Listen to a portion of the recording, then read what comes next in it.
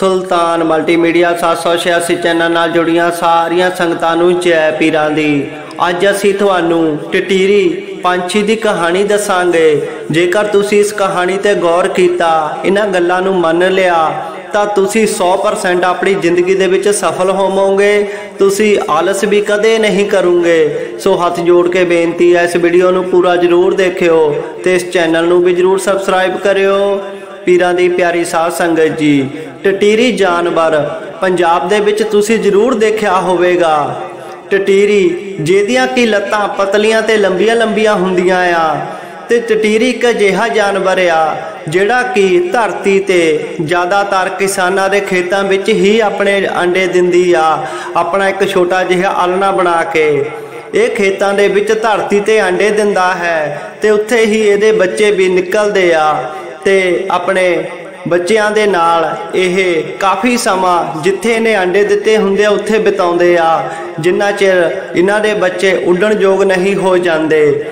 ਤੇ ਤੁਸੀਂ ਕਈ ਵਾਰੀ ਦੇਖਿਆ ਹੋਵੇਗਾ ਕਿ ਜਦੋਂ ਟਟੀਰੀ ਦੇ ਬੱਚਿਆਂ ਦੇ ਕੋਲ ਕੋਈ ਇਨਸਾਨ ਜਾਂਦਾ ਹੈ, ਤਾਂ ਉਹ ਕਿੱਦਾਂ ਸ਼ੋਰ ਮਚਾਉਂਦੀ ਆ ਤੇ ਕਿੱਦਾਂ ਕਿਸੇ ਜਾਨਵਰ ਜਾਂ ਇਨਸਾਨ ਨੂੰ ਆਪਣੇ ਬੱਚਿਆਂ ਤੋਂ ਦੂਰ ਰੱਖਦੀ ਆ। ਇੱਕ ਮਾਂ ਹੀ ਇਦਾਂ ਕਰ ਸਕਦੀ ਆ।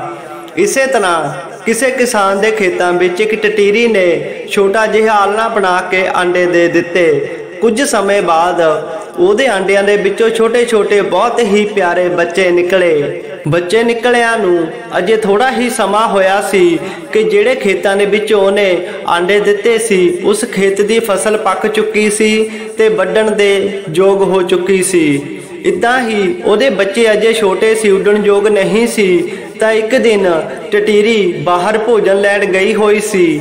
ਜਦੋਂ ਉਹ ਵਾਪਸ ਆਈ, ਤਾਂ ਉਹਨੇ ਦੇਖਿਆ ਕਿ ਉਹਦੇ ਬੱਚੇ ਬੜੇ ਹੀ ਡਰੇ ਤੇ ਸਹਿਮੇ ਹੋਏ ਆ।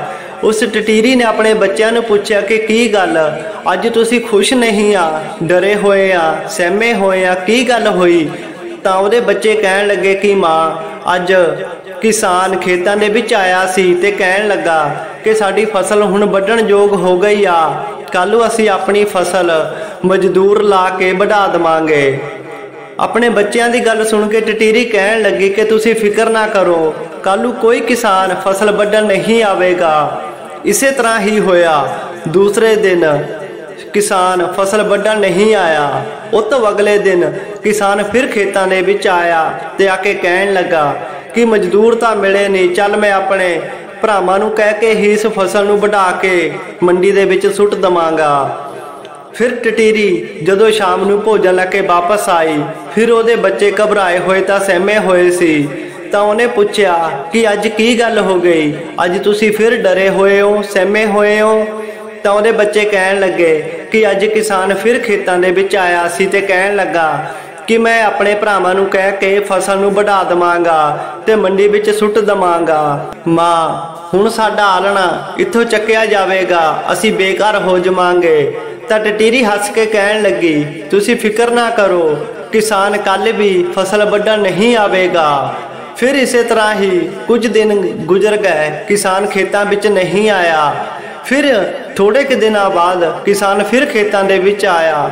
ਉਸ ਵਕਤ ਟਟੀਰੀ ਭੋਜਨ ਲੈਣ ਗਈ ਹੋਈ ਸੀ ਤਾਂ ਕਿਸਾਨ ਨੇ ਖੇਤਾਂ ਦੇ ਵਿੱਚ ਖੜੇ ਹੋਏ ਨੇ ਕਿਹਾ ਕਿ ਨਾ ਤਾਂ ਮੈਨੂੰ ਮਜ਼ਦੂਰ ਮਿਲੇ, ਨਾ ਮੇਰੇ ਭਰਾਵਾਂ ਨੇ ਮੇਰੀ ਸਹਾਇਤਾ ਕੀਤੀ। ਕੱਲ ਨੂੰ ਮੈਂ ਆਪ ਹੀ ਆਪਣੀ ਫਸਲ ਨੂੰ ਵੱਢ ਕੇ ਮੰਡੀ ਵਿੱਚ ਸੁੱਟ ਦਵਾਂਗਾ। ਇੰਨੀ ਗੱਲ ਕਹਿ ਕੇ ਕਿਸਾਨ ਆਪਣੇ ਘਰ ਚਲਾ ਗਿਆ ਅਤੇ ਟਟੀਰੀ ਜਦੋਂ ਵਾਪਸ ਆਈ ਤਾਂ ਉਹਨੇ ਦੇਖਿਆ ਕਿ ਉਹਦੇ ਬੱਚੇ ਅੱਜ ਵੀ ਘਬਰਾਏ ਹੋਏ ਆ। ਉਹਨੇ ਪੁੱਛਿਆ ਕਿ ਕੀ ਗੱਲ ਬੇਟਾ? ਅੱਜ ਕੀ ਗੱਲ ਹੋ ਗਈ? ਤੁਸੀਂ ਫਿਰ ਘਬਰਾਏ ਹੋਏ ਹੋ। ਤਾਂ ਟਟੀਰੀ ਦੇ ਬੱਚੇ ਕਹਿਣ ਲੱਗੇ ਕਿ ਮਾਂ, ਅੱਜ ਕਿਸਾਨ ਫਿਰ ਖੇਤਾਂ ਵਿੱਚ ਆਇਆ ਸੀ ਤੇ ਕਹਿਣ ਲੱਗਾ ਕਿ ਕੱਲ ਨੂੰ ਮੈਂ ਖੁਦ ਆਪਣੀ ਫਸਲ ਨੂੰ ਵੱਢ ਕੇ ਮੈਂ ਮੰਡੀ ਵਿੱਚ ਸੁੱਟ ਦਵਾਂਗਾ।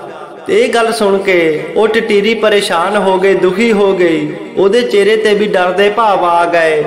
ਆਪਣੀ ਮਾਂ ਨੂੰ ਡਰੇ ਹੋਏ ਦੇਖ ਕੇ ਬੱਚੇ ਪੁੱਛਣ ਲੱਗੇ ਕਿ ਮਾਂ ਪਹਿਲਾਂ ਵੀ ਕਿਸਾਨ ਨੇ ਕਿਹਾ ਸੀ ਕਿ ਮੈਂ ਫਸਲ ਵੱਢਾਂਗਾ ਤੇ ਤੂੰ ਨਹੀਂ ਘਬਰਾਈ। ਦੂਸਰੀ ਵਾਰ ਵੀ ਕਿਹਾ, ਤੂੰ ਨਹੀਂ ਡਰੀ। ਪਰ ਹੁਣ ਤੂੰ ਕਿਉਂ ਡਰ ਗਈਆਂ? ਕਿਸਾਨ ਦੀ ਗੱਲ ਸੁਣ ਕੇ ਤਾਂ ਉਹਦੀ ਮਾਂ ਕਹਿਣ ਲੱਗੀ, ਬੇਟਾ, ਮੇਰੀ ਗੱਲ ਧਿਆਨ ਦੇ ਨਾਲ ਸੁਣ। ਪਹਿਲਾ ਕਿਸਾਨ ਮਜ਼ਦੂਰਾਂ ਤੇ ਨਿਰਭਰ ਸੀ, ਉਹ ਮਜ਼ਦੂਰਾਂ ਨੂੰ ਉਡੀਕਦਾ ਸੀ। ਦੂਸਰੀ ਵਾਰ ਕਿਸਾਨ ਆਪਣੇ ਭਰਾਵਾਂ ਤੇ ਉਮੀਦ ਲਾਈ ਬੈਠਾ ਸੀ, ਆਪਣੇ ਭਰਾਵਾਂ ਦਾ ਸਹਾਰਾ ਭਾਲਦਾ ਸੀ। ਇਸ ਕਰਕੇ ਮੈਂ ਬੇਫਿਕਰ ਸੀ ਕਿ ਕਿਸੇ ਨੇ ਉਹਦੀ ਸਹਾਇਤਾ ਨਹੀਂ ਕਰਨੀ ਆ।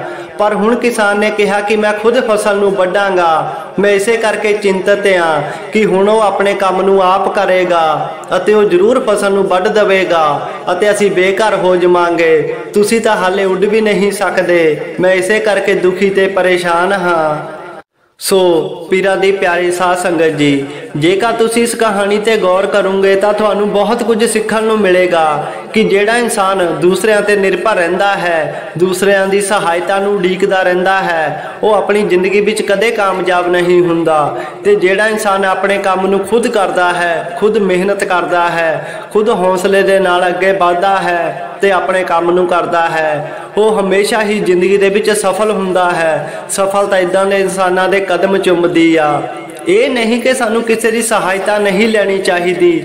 ਜਦੋਂ ਚਾਰੇ ਸਿਰੇ ਕੋਈ ਗੱਲ ਨਾ ਬਣੇ, ਬਹੁਤ ਜ਼ਿਆਦਾ ਲੋੜ ਪੈ ਜਾਵੇ, ਤਾਂ ਸਾਨੂੰ ਕਿਸੇ ਦੀ ਸਹਾਇਤਾ ਲੈਣੀ ਚਾਹੀਦੀ ਆ। ਨਹੀਂ ਤਾਂ ਸਾਨੂੰ ਆਪਣੇ ਸਾਰੇ ਕੰਮਾਂ ਨੂੰ ਖੁਦ ਕਰਨਾ ਚਾਹੀਦਾ ਹੈ। ਦੂਸਰਿਆਂ ਤੇ ਨਿਰਭਰ ਨਹੀਂ ਹੋਣਾ ਚਾਹੀਦਾ, ਕਿਉਂਕਿ ਦੂਸਰਿਆਂ ਤੇ ਨਿਰਭਰ ਹੋਣ ਤੋਂ ਬਾਅਦ ਅਸੀਂ ਉਹਨਾਂ ਦੇ ਸਮੇਂ ਤੇ ਆਪਣੇ ਕੰਮ ਕਰਾਂਗੇ। ਪਰ ਜੇਕਰ ਅਸੀਂ ਖੁਦ ਮਿਹਨਤ ਕਰਾਂਗੇ, ਖੁਦ ਅੱਗੇ ਵਧਾਂਗੇ, ਤਾਂ ਅਸੀਂ ਸਮੇਂ ਸਿਰ ਆਪਣੇ ਕੰਮ ਕਰਾਂਗੇ ਤਾਂ ਅਸੀਂ ਸਫਲ ਹੋਵਾਂਗੇ। ਸੋ ਇਸ ਕਹਾਣੀ ਤੇ ਤੁਸੀਂ ਗੌਰ ਜ਼ਰੂਰ ਕਰਿਓ, ਇਸ ਵੀਡੀਓ ਨੂੰ ਵੱਧ ਤੋਂ ਵੱਧ ਸ਼ੇਅਰ ਕਰਿਓ। ਤੁਹਾਡਾ ਪੀਰੋ ਮੁਰਸ਼ਦ ਤੁਹਾਡੀ ਹਰ ਆਸ ਮੁਰਾਦ ਪੂਰੀ ਕਰੇ। ਆਮੀਨ।